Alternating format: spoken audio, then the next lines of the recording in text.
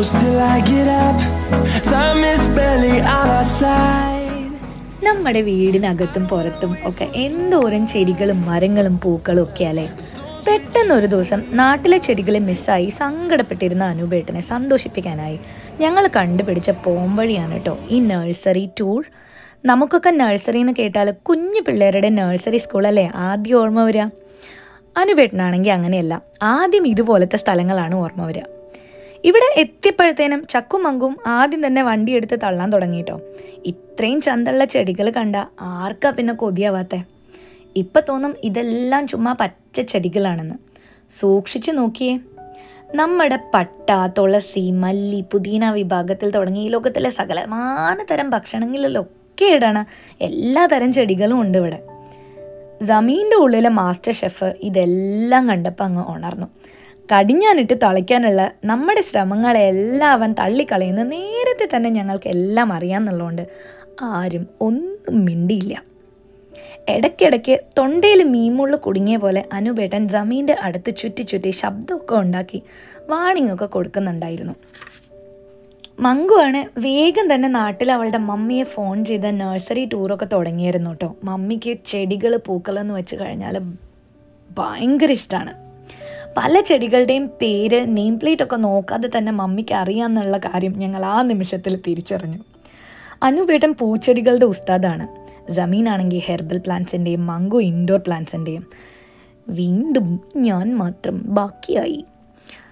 എന്റെ ചെടി പരിജ്ഞാനം എന്തോ ഒരു കുറവാണെന്ന് മനസ്സിലായപ്പോൾ ഞാൻ പിന്നെ അവിടുത്തെ ചെടി പഠന പേപ്പർ കഷ്ണങ്ങളെല്ലാം തന്നെ പെറുക്കി കൂട്ടാൻ തുടങ്ങി.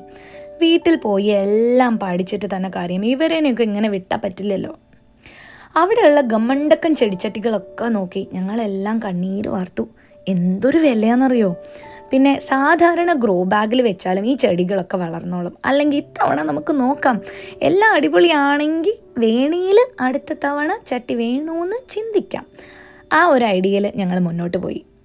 അങ്ങനെ പോകുമ്പോൾ ഗാർഡൻ ഡെക്കോർ പീസസിന്റെ ഇടയിൽ നമ്മുടെ ഗണപതി ആൻഡ് ബുദ്ധനെ കണ്ടു കേട്ടോ കുറേ ഗണപതി ആൻഡ് ബുദ്ധ കല്ലുകൊണ്ടുള്ള പ്രതിമകളുണ്ടായിരുന്നു. എത്ര കണ്ടാലും മതി വരില്ല? പല കളറിൽ പല തരത്തിലുള്ള ഒരുപാട് റോസാപ്പൂച്ചെടികൾ ഉണ്ടായിരുന്നു പുറത്ത് നല്ല കാറ്റും തണുപ്പും ഒക്കെ ആയതുകൊണ്ട് ഞാൻ പതിയെ ഇൻഡോർ പ്ലാന്റ്സിന്റെ ഏരിയയിലേക്ക് പതിയെ പതിയെ അങ്ങോട്ട് വലിഞ്ഞു. ഇൻഡോർ പ്ലാന്റ്സിന്റെ ഏരിയയിലേക്ക് കടന്നപ്പോൾ അവിടെ ഒരു കുളത്തിൽ കുറേ കോയ് ഫിഷസിനെ ഇട്ടിട്ടുണ്ട്. ഞാൻ കുറേ നേരം അവരെയൊക്കെ നോക്കി ഇങ്ങനെ നിന്നു. നല്ല ഭംഗിയുണ്ടായിരുന്നു. ഒത്തിരി കോയ് ഫിഷുകളുണ്ട് കുറച്ച് നേരം ആ ഗാർഡന്റെ ഇൻഡോർ ഗാർഡന്റെ സൈഡിലുള്ള കഫേയിലെ മെനു ഒക്കെ ഞാൻ തുറച്ചു നോക്കി. അതൊന്നും എനിക്കങ്ങോട്ട് തൃപ്തിപ്പെട്ടില്ല. എന്തെങ്കിലും ഇഷ്ടമുള്ള ഭക്ഷണം പുറത്ത് പോയി കിട്ടുക എന്നുള്ളത് എന്നെ സംബന്ധിച്ച് വളരെയധികം കഷ്ടമുള്ള കാര്യമാണ്.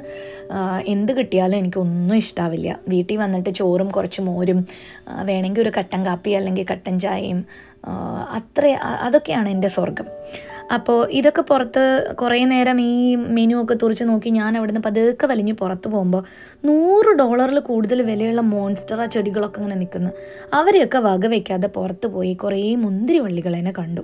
നമ്മൾക്ക് പ്രത്യേകിച്ച് കാര്യമായിട്ട് മുന്തിരി പരിജ്ഞാനമൊന്നും ഇല്ലാത്തതുകൊണ്ട് ഏത് മുന്തിരി വാങ്ങണം എന്നുള്ളതിനെ പറ്റി പ്രത്യേകിച്ച് ഐഡിയ ഒന്നുമില്ല. ആകെ കൂടെ ഗ്രീൻ ഗ്രേപ്സ് വേണോ റെഡ് ഗ്രേപ്സ് വേണോ അങ്ങനത്തെ കാര്യങ്ങൾ മാത്രമേ നമുക്ക് അറിയുള്ളൂ. അപ്പം നമുക്ക് എല്ലാവർക്കും കൂടെ തീരുമാനം എടുത്തു നമുക്ക് എന്നാൽ പിന്നെ റെഡ് ഗ്രേപ്സ് വാങ്ങിക്കാം. അങ്ങനെ നമ്മൾ മുന്തിരി വള്ളിയൊക്കെ ചൂസ് ചെയ്തു.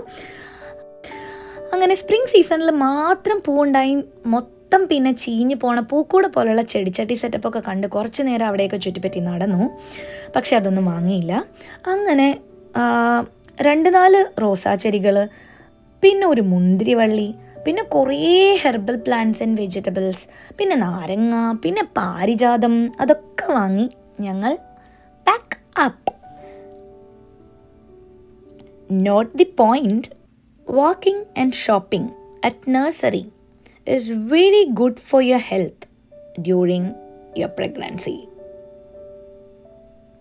ഞാനപ്പോൾ ഏതാണ്ട് അഞ്ച് മാസം പ്രഗ്നന്റ് ആയിരുന്നു എന്ന് തോന്നുന്നു.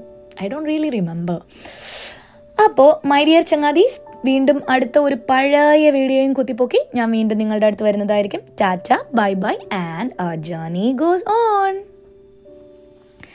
ഇത്രയും നേരം ഈ വീഡിയോ കണ്ട എല്ലാവർക്കും താങ്ക്സ് ഇഷ്ടപ്പെട്ട ലൈക്ക് ചെയ്യൂ. നിങ്ങൾക്ക് ഇഷ്ടപ്പെട്ട ആർക്കെങ്കിലും ഷെയർ ചെയ്യണം നിങ്ങൾക്ക് താല്പര്യമുണ്ടെങ്കിൽ ഡു ദാറ്റ് വീണ്ടും കാണാം. Bye bye take care